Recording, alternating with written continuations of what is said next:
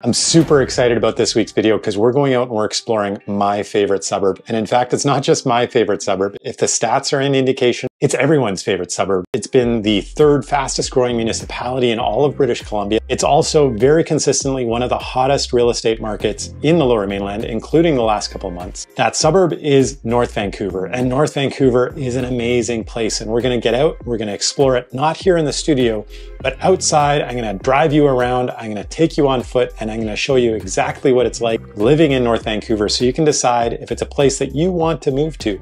If you want to figure that out, stay tuned. We're going to get into it right now.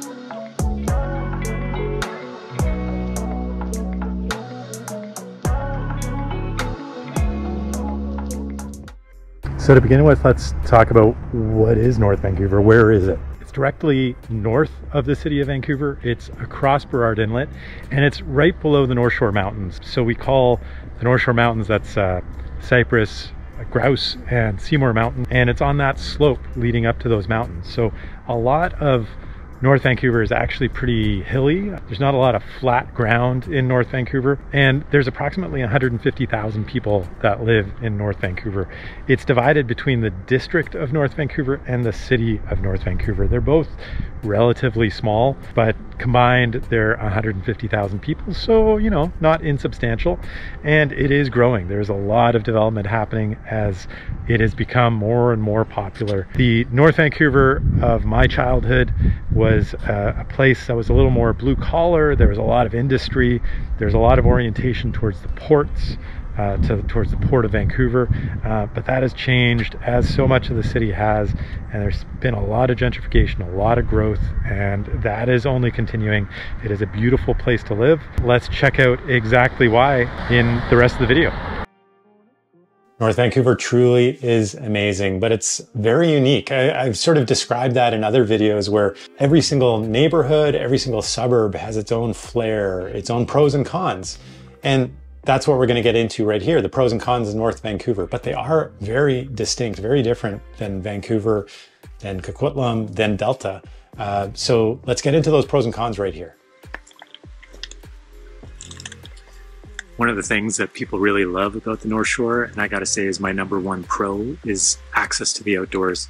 Look around us right now, I'm in Lynn Canyon Park, and uh, the Canyon Suspension Bridge is just down uh, the creek here a little bit. There's hundreds of people around right now. Parking lots are jam packed. Lots of people just enjoying the beautiful weather. It's the end of August right now. Some people actually braving the incredibly cold water. I'm not one of them. I do not like cold water. Just generally don't like the cold too much at all. Beauty of being on the North Shore, in North Vancouver in particular, is this access to the outdoors, hiking trails, to the mountains, to the lakes and the rivers, year-round access. Uh, so in the summer months, it's a great place to just cool off and explore. And in the winter months, you get a chance to get out into the snow.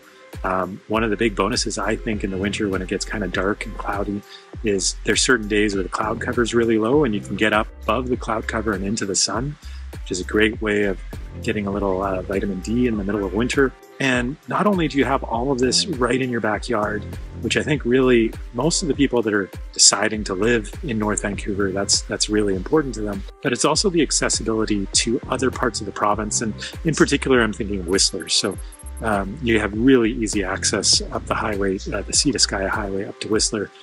So you have sort of the, one of the best international mountains for skiing at Whistler Blackcomb, and then you just have the the regional ski hills right up above uh, Cypress, Seymour, and Grouse Mountain, uh, right all in your back door, all at your back door, I should say. Just beautiful nature, easily accessible, and that's a big pro of living in North Vancouver.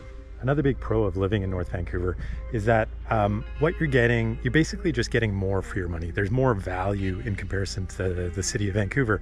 Um, you're generally getting bigger lots or more space and or more space. So the houses are usually a bit bigger, the condos are a bit bigger, similar price points. If you're spending the same amount of money, you're just getting more when you come to the North Shore.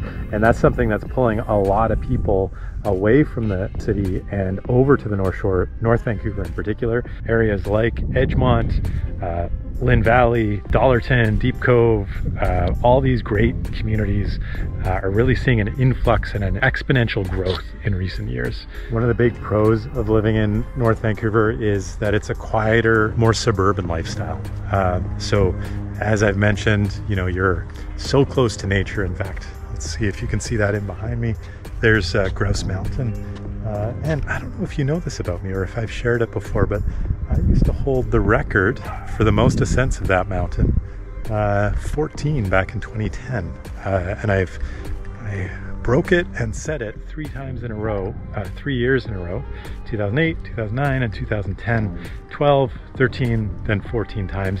And that was uh, for charity. I did that for the Royal LePage Shelter Foundation the largest source of funding for uh, women's shelters and violence prevention programs in Canada. Um, and I raised over the course of a number of years close to $100,000 and um, still raising money for that, in fact. Anyways, back to why people love living in North Vancouver. It's because it is so quiet, so secluded, so um, suburban.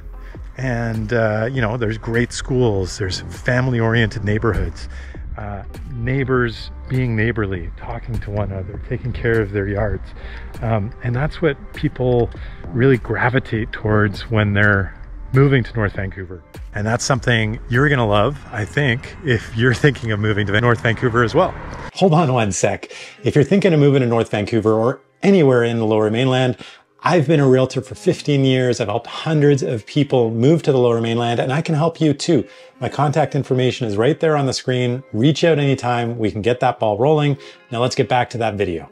What better place to talk about one of the biggest cons of living in uh, North Vancouver, at least in my opinion, than here in nature, one of the biggest pros. This is the result of one of the biggest cons. What you see behind me, the green, the lushness, the forest, um, it's the end of August. I don't know if you remember if you're watching this sometime in the future, but at the moment in a lot of the rest of BC, there's a massive forest fire danger. We have so much rain on the North Shore that yes, uh, there is a forest fire danger even uh, even here. But uh, there is so much rain that it's so lush and green when the rest of the city is quite a lot of it is brown and dry and uh, like a, a, a tinder box ready to, to, to explode. Here in North Vancouver, you have all this greenery, all this lushness, all this beauty.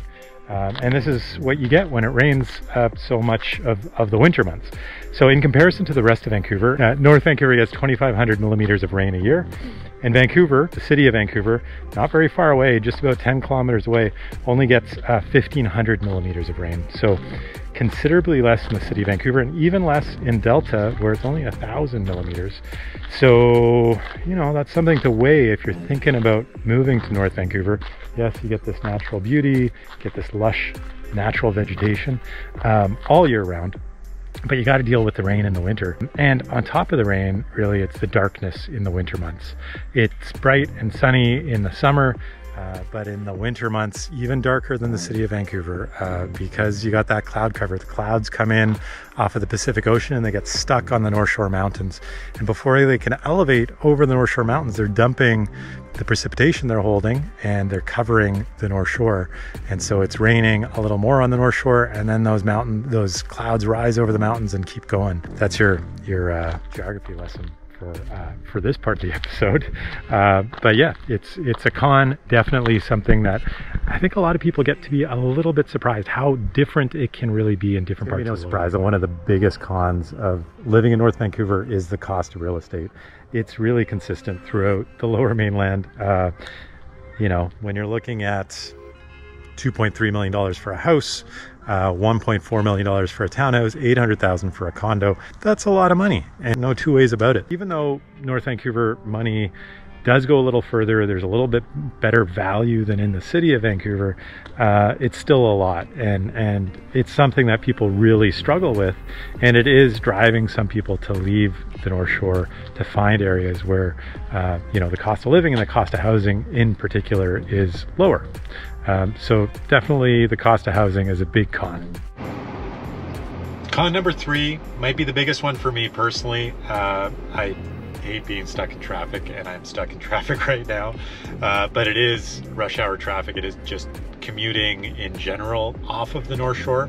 If you don't need to, um, living in North Vancouver is amazing. Um, the, the pluses definitely outweigh the cons. Um, but for me, the, the, the biggest con is really if you need to commute, if you need to get off the North Shore on a regular basis, and you need to get to downtown Vancouver in particular, there's only three ways to get there. There's the Second Narrows Bridge, there's a Lionsgate Bridge, and then there's the SeaBus. And again, the SeaBus is a great option if you're living in Lower Lonsdale, Central Lonsdale, uh, pretty close to it. And you know you're trying to get to downtown Vancouver. Let's say you're a lawyer an architect working in downtown Vancouver. Great. Um, easy commute. The SeaBus leaves every 15 minutes. It only takes 12 minutes. It's a beautiful trip uh, really pleasant. And also just you know not just downtown Vancouver but also if you're anywhere on the SkyTrain line um, from um, from the other side there you can get to the SkyTrain really easily and be on your way very quickly and very conveniently. But if you live in most other areas of North Vancouver or you need to commute anywhere else, it is a pain. You know, it's not just the two bridges that shut down, but it's also North Vancouver kind of in general because it's has such limited east-west connectors. It's really, you know, Marine Drive and the upper levels highway that you can get east to west from. And if traffic is really bad, um, all those routes really back up. Traffic can get pretty bad. Now, it's not LA bad or Toronto bad, but it is some of the heavier traffic you're going to see in Metro Vancouver. And that's just something that you want to be aware of. You want to take into account if you're thinking of moving to North Vancouver.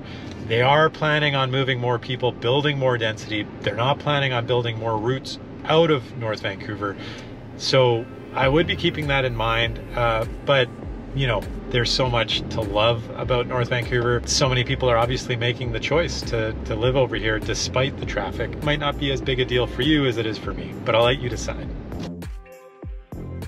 I wanted to touch on transportation uh, on the North Shore, North Vancouver in particular. Um, obviously, there is no SkyTrain in North Vancouver. Well, not obviously. You may not know that. I, to me, it's obvious. Uh, but there is a bus. Uh, bus system on the North Shore is actually really good, considering how spread out and how few people live over here. I mean, it's not inconsiderable. It's 150,000 people, but still, they have uh, the same bus system that we have in the city of Vancouver, and it's great. Uh, except it's not as reliable and convenient as the SkyTrain system is. There's, you know, a push on the North Shore for SkyTrain by by some parties, but it's unlikely to come. The real challenge for the North Shore uh, coming and going is that there's really just three ways to get over here if you need to, to get here from the city or to go to the city from here. And that's two bridges and the sea bus. So we have the Lionsgate Bridge and we have the Ironworkers Memorial or the Second Narrows Bridge. Those are interchangeable names. And then we have in between them the sea bus that goes from Lower Lonsdale, uh, the Lonsdale Quay, over to downtown, downtown Vancouver. Um, so if there's an issue with one of those bridges, you can really get stuck over here. And it can, you know, on a good day, it might only take you half an hour to drive into downtown Vancouver, but on a bad day, it could take you two or three hours if there's something going on on one of the bridges um, and some sort of police incident or uh, some sort of construction, uh, it can become absolute gridlock. And incidentally, speaking of gridlock, um, North Vancouver does run east to west, and there's only a couple ways to get from the west side to the east side of North Vancouver. And again, in rush hour traffic, it can become really bad gridlock. And it's getting worse as, you know, they're building more and more density over here. It's just something to be aware of if you're considering moving over here. Uh, lots of people love it, um, and especially if you're working from home.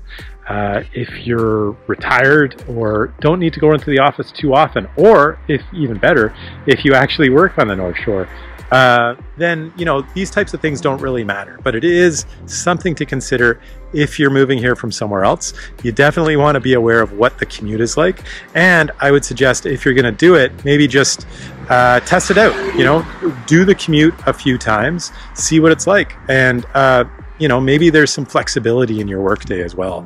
Um, so those are all just things to keep in mind. I want to make sure that you're aware. Hey, real quick, if you're enjoying this video, hit that like button, hit the subscribe button if you want to see more of me. I do make videos about living in Vancouver every single week. And down in the comments below, I'd love to know if there's other areas, uh, whether it's a suburb or a neighborhood, that you'd like to see me make videos about. Now let's get back to the video. All right, so now I want to explore the different types of housing in North Vancouver. I want to explore houses, townhouses, and condos. Those are the three main housing types that we're going to find in North Vancouver. Let's get back out there and take a look. Talking about houses in North Vancouver, 2.286 $100 is what a typical house in North Vancouver is going to cost you.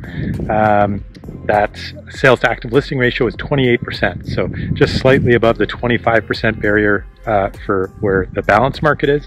It is in a seller's market. Um, it's not as hot as condos and townhouses are, um, but you get a lot in North Vancouver for that 2.3 roughly million dollars. See behind me a couple examples, uh, big lots. The houses aren't necessarily huge, but the property is. So much bigger than you're going to see 6,000, 7,000 square feet lots uh, quite a bit. You're going to see houses built, you know, in the 60s, 70s, and 80s, um, a little bit older. Um, but as the house in behind me here now, um, you also get sort of spot development of newer construction. Um, and so it's very similar to the city of Vancouver, where you don't see new subdivisions being built. Uh, the city of, or sorry, North Vancouver has been built out for decades. Uh, so no real new subdivisions for the past few decades. If you want to build a new house, what you do is you buy an older house like the one behind me, and then you build a brand new house like that one right there. Um, so that's the way that you're going to see development. Obviously, new construction is going to be considerably more than just 2.3 million, um, and you are going to see lot value less than 2.3 million. So there are options, but if you want greater affordability, then you're going to want to look at you know townhouses and condos as options. Um, but what you do get in North Vancouver is more space. Um, the houses, as I said, aren't necessarily a lot bigger, but the property definitely is. You're generally getting a lot more land in North Vancouver. If you've been watching my channel, you'll know that one of the most popular housing options these days are uh, townhouses and half duplexes. Big part of that is affordability and also just what is available and relatively affordable for families. Families that can't quite afford and who can a single family residential house in Vancouver these days uh, and in the lower mainland, I should uh, point out. Um, they're looking at other options like townhouses. So, um, North Vancouver is definitely no exception to this. It is a very close second to the condo market in terms of how hot it is. Um, so this past month, August 2023, it had a sales to active listing ratio of 38.5, blistering pace, uh, incredibly competitive market, very sought after product, and prices, sort of your typical price for a townhouse in North Vancouver these days is 1.359. 1,359,000. And that's going to get you, you know, roughly 1,200, 1,250 square feet, three bedrooms, places like the, the units that I'm walking past right now. And this is a lovely little development. You can always see, you know, these townhouse developments. They're multi-story. You have your own front, uh, your, your front door onto the um, onto the street, and you also have a little bit of outdoor space. So it's not quite a house, but it's a good stopgap or, or in between stage between a condo and a house. And as I said, relatively, and I know over a million dollars is still expensive, but still relatively inexpensive in relation to what a single family house costs these days. So I mentioned that North Vancouver's real estate market is hot. What is the hottest part of the market in North Vancouver? It is condos. Condos are at a staggering 43% sales to active listing ratio for the month of August in 2023. And uh, the typical condo in North Vancouver sells for 814,000. There's a couple in behind me here, the big tower uh, directly behind me here in Lynn Valley, and then one of the smaller uh, condo developments, uh, four story, and the condos are absolutely gorgeous. This development in here behind me, I sold a place in here last year. Beautiful, uh, huge, spacious, very well run, very well built. Highly recommend considering uh, one of these condos if you're looking in Valley. Um, and yeah, there is just more density being built on the North Shore as people are looking for alternatives away from the density of uh, of the city, uh, out of the downtown core. People are able to work from home. They're not as worried necessarily about traffic and congestion. And they're looking for more of a balance in their lifestyle. And that's what's drawing people here to North Vancouver. If you've been watching my videos for a while, you probably have a really good understanding how different neighborhoods in the lower mainland can be, let alone the municipalities and the suburbs. So North Vancouver is no exception. It is really unique, really special. And so what I want to do now is get into my personal pros and cons of living in North Vancouver let's let's get into it right now. My favorite parts of uh, North Vancouver, one of my favorite communities, I should say, neighborhoods, is Deep Cove, and it's just stunning. It feels like you're in another world. It's off to the side, the far eastern side of North Vancouver, and you can see Deep Cove right in behind me. It's a great place to hang out in the summer. Uh, go for a paddle, head out into Indian Arm out there. Wonderful when it's bright and sunny. One thing to be aware of in the winter months, it is not the brightest spot. I mentioned uh, the weather on the North Shore, uh, it's even more extreme in Deep Cove. Uh, so it does get dark, it does get very, very wet in the winter months, uh, but it is incredibly beautiful and it's a really sort of interesting neighborhood all in its own right. It has some really cool little cafes and shops and uh, a neighborhood center to it, a village, if you will. And uh, yeah, it's just a little further out than you'd expect. Uh, so it does take some time to get out here, whether you're driving or taking public transit. So keep that in mind if you are going to be commuting somewhere and not working from home. If there is a downtown core to North Vancouver, it is Lower Lonsdale. Traditionally, it was sort of the, the heartbeat of the industrial part of the city, but it's been redeveloped massively in the last 20 years or so. Um, huge amounts of money poured into the development, massive high rises built, lots of condos, lots of townhouses, sort of the epicenter of high density. Um, and if you want to compare it to somewhere in Vancouver, I compare it to Yaletown, You know, traditionally very industrial part of uh, Vancouver that's been transformed into a highly desirable, uh, high density living sort of location.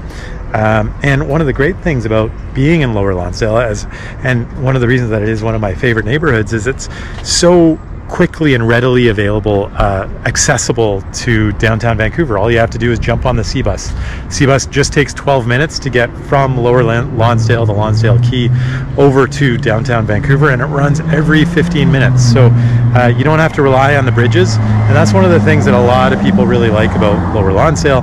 Um, you know, they, they'll be able to live on the North Shore and take advantage of the outdoor uh, pursuits that they want to pursue, um, but and and be accessible to downtown, but actually not live in downtown. So that's one of the reasons that I really like it too. One of my favorite, or actually I should say my favorite uh, neighborhood in North Vancouver is Edgemont Village. That's where I am right now.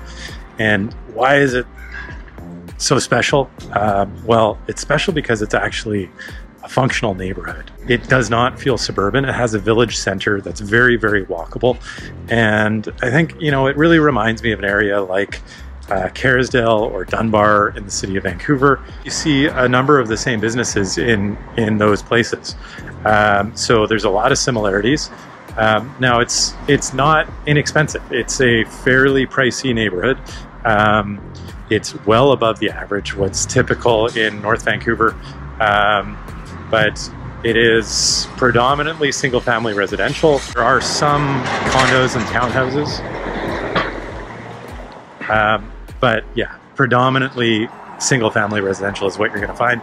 And very family oriented. Lots, as I'm walking through, seeing a lot of families, a lot of young kids, um, but definitely a lot more prosperity than you're gonna see in some of the other areas. So you, you know, this is an area that you're definitely gonna need to pay a premium to live in if that's what you're looking for in comparison to what you'll find in other parts of North Vancouver. So that idea of where is their value, it's not necessarily in Edgemont Village.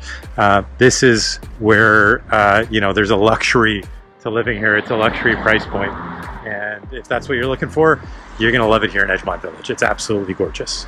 And that's it for North Vancouver. I hope you really enjoyed that video. It was a lot of fun to put together, but a lot of work. Uh, I'd love to hear from you. Put it in the comments below if you'd like to see more videos like this. And I'd love to know what other suburbs or neighborhoods you'd like to see more information, more videos about. give me a like and subscribe if you were into this video. And also, if you're thinking of moving to, to the lower mainland eh, or Vancouver specifically, be sure to reach out anytime. My contact information is right there. Uh, we can get that ball rolling, get that conversation started. I'm going to be right back here next week with yet another video for you. And in the meantime, here's a video I think you're going to enjoy. It's all about the cost of living in the lower mainland. And then this video here is uh, a video that YouTube thinks you're really going to like. All right, I'll see you next week.